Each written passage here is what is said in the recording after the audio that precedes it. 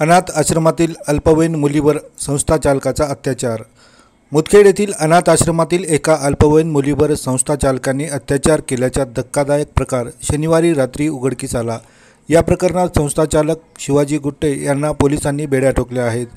या घटनेबाबत संताप व्यक्त करण्यात येत आहे. मुदखेड येथील अनाथ आश्रमातील शुक्रवारी रात्री चौदा आणि सोळा वर्षीय दोन मुलींनी पलायन केले होते. त्यानंतर रेल्वेने या दोन्ही मुली शनिवारी पहाटे किनवट येथे रेल्वे स्टेशन येथे पोहोचल्या होत्या. रेल्वे स्टेशन परिसरात भटकन करत असताना रेल्वे पोलिसांनी संशय आला. त्यांनी या दोन्ही मुलींना विश्वासात घेऊन विचारपूस केली असता आश्रमात मारहाण होत असल्याने पळल्याचे त्यांनी सांगितले. रेल्वे पोलिसांनी लगेच काही माहिती मुदखेड पोलिसांना दिली. मुदखेड पोलिसांनी शनिवारी रात्री किनवट येथून त्यांना मुदखेडला आणले.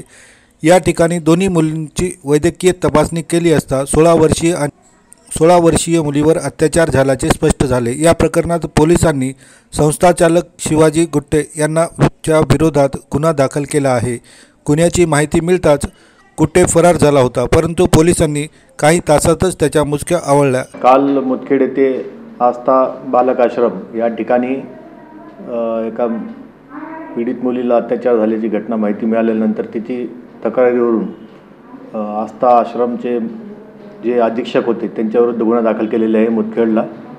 त्या नंबर सी आर नंबर त्रेचाळीस अब्लिक दोन हजार एकवीस कलम तीनशे शहात्तर आय पी सी आणि पोस्कोचे पाच सहा कलम लावलेले आहे.